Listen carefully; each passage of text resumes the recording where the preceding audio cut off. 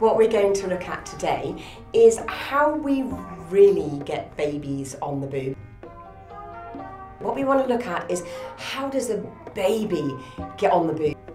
From newborn, you're going to notice that your little one has certain reflexes that kick in, and it's really useful to understand these reflexes because it can help you when you come to bring your baby in to suckle. So, the first thing you'll notice, and even with your brand new baby, and even if you've had your baby early, you're going to notice this, is that if you lie your baby on their tummy here, one of the first things they'll do at birth is lift their little heads up, and their head comes up and a little wiggle. All babies do that. And the reason they do that is because they're highly evolved to come up to the boob and they need to do this. The other thing that you'll notice is that if actually, rather than having your baby here lying on the tummy with their little heads coming up, you hold your baby on their side. The little head does this. Can you see that he doesn't have strength in this direction? Because actually the baby doesn't need to hold their head in that direction. And you'd be forgiven for wondering why, therefore, when you're shown how to bring a baby onto the boob, you're always shown how to bring them up horizontally like this and their little heads falling all over the place and then you have to hold them.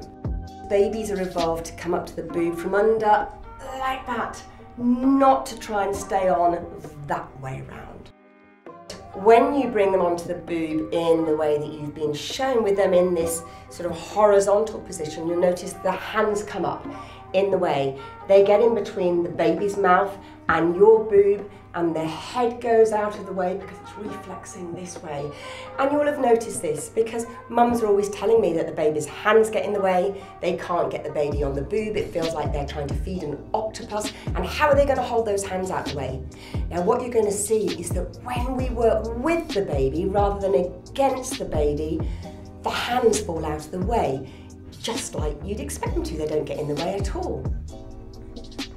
Your baby will always be pretty happy to come on the boob. Um, you don't have to wait till they're hungry, and even when they are hungry, you can soothe and jiggle them for a little while until you're somewhere ready. If you can't remember which one your baby was on last, then just do what every mum does, which is give them a little weigh up, see which one weighs most, and then we usually bung them on the one that feels heavier. When we bring the baby onto the boob, we're just going to cuddle the baby in the same arm as the boob is in. And we're gonna just keep our arms nice and relaxed. All you have to do is bring your baby in close, right under the boob, so your baby touches, because this is a touch reflex, and bam, the mouth goes open, you'll feel it, and if you're cuddling your baby underneath, magic, your boob drops in.